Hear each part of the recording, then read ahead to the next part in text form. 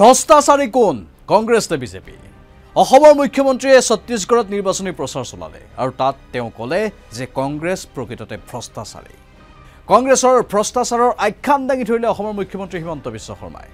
আগন্তুক পাঁচ ৰাজ্যৰ নিৰ্বাচন আহি আছে আৰু সেই নিৰ্বাচনী প্ৰচাৰৰ বাবে মুখ্যমন্ত্ৰীগৰাকীয়ে জোৰদাৰ গতিত এই ৰাজ্যবোৰত পৰিভ্ৰমণ কৰি আছে। আৰু ছত্তীশগড়ত তেওঁ নিৰ্বাচনী প্ৰচাৰ সভাত অংশগ্ৰহণ কৰি এখন বিশাল নিৰ্বাচনী সভাত বহুকেইটা মন্তব্য আগবঢ়ালে। ছত্তীশগড়ৰ মুখ্যমন্ত্ৰী ভূপেশ বাঘেলৰ বিৰুদ্ধেও তেওঁ মন্তব্য আগবঢ়ালে। ভূপেশ বাঘেলে ইয়াৰ পূৰ্বে অসমৰ মুখ্যমন্ত্ৰীক সমালোচনা কৰিছিল। সেই সমালোচনাৰ প্ৰত্যুত্তৰ দি কৈছে অসমৰ মুখ্যমন্ত্ৰী হিমন্ত বিশ্ব শৰ্মাই যে সমগ্ৰ দেশত বিজেপিয়ে মাদ্ৰাছাবোৰ বন্ধ কৰিব।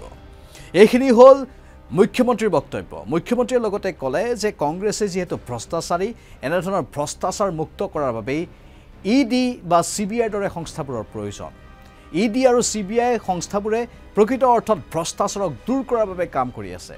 আৰু মুখ্যমন্ত্ৰীয়ে আকাৰে ইংগিতে এই বিষয়টোত যেন কংগ্ৰেছীসকলকে আঙুলি টোৱালে কংগ্ৰেছীসকলৰ কথা তেওঁ উল্লেখ কৰি ক'লে ই ডি আৰু চি বি আইৰ কথা।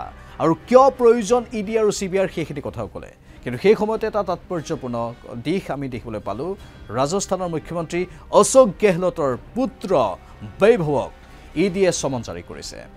ফৰেইন এক্সচেঞ্জৰ কিছু খেলি মেলিৰ বিষয়টোক লৈ এনফৰ্চমেণ্ট ডাইৰেক্টৰেটে অশোক গেহলটৰ পুত্ৰ বৈভৱক চমন জাৰি কৰিছে আৰু জেৰা চলাইছে আৰু তাৰ পাছত অশোক গেহলটে আকৌ বিজেপি চৰকাৰক উভতি ধৰি কৈছে সমগ্ৰ দেশত এতিয়া আতংক বিয়পি আছে আতংক বিয়পাইছে কোনে আতংক বিয়পাইছে হেনো বিজেপিয়ে पहले तो ये बताया कि उसको उसकी पत्नी को किसान भारत सरकार ने किसान आ, संपदा योजना के तहत उसको उन्होंने अप्लाई किया था कि भारत सरकार ने अपने से दे दिया है। जो दस करोड़ का उसको पैसा मिला है, वो किस किसके तहत मिला है? उन्होंने अप्लाई किया, उसकी पत्नी ने कि खुद किया है? এইখিনি বক্তব্য কথাৰ কটাকটি আৰু কথাৰ কটাকটি এতিয়া চূড়ান্ত ৰূপ পাইছেগৈ আগন্তুক পাঁচ ৰাজ্যৰ নিৰ্বাচনৰ আগে আগে যিহেতু নিৰ্বাচনলৈ বৰ বেছি দিন নাই নৱেম্বৰত এই নিৰ্বাচন আৰু এই নিৰ্বাচনৰ আগে আগে এনেধৰণেই কথাৰ বা বাক বিতণ্ডাৰ এক বিশেষ পৰিৱেশৰ সৃষ্টি হৈছে মুখ চুপতি আৰম্ভ হৈছে আৰু অসমৰ মুখ্যমন্ত্ৰীগৰাকীয়ে গৈ ছত্তীশগড়ত এই মুখ চুপতিত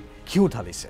অসমৰ মুখ্যমন্ত্ৰীয়ে পোনপটীয়াকৈ কৈছে যে ই ডি আৰু চি বি আইৰ দ্বাৰা প্ৰকৃত অৰ্থত ভ্ৰষ্টাচাৰ মুক্ত কৰা হ'ব আৰু কংগ্ৰেছীসকল আচলতে ভ্ৰষ্টাচাৰী হয়।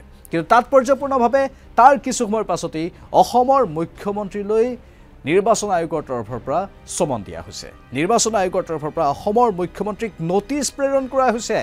ছত্তীশগড়ত কিছু বক্তব্যৰ বাবেই নিৰ্বাচন আয়োগে কেন্দ্ৰীয় নিৰ্বাচন আয়োগৰ তৰফৰ পৰা এইখন নটিচ অসমৰ মুখ্যমন্ত্ৰী হিমন্ত বিশ্ব শৰ্মালৈ প্ৰেৰণ কৰা হৈছে।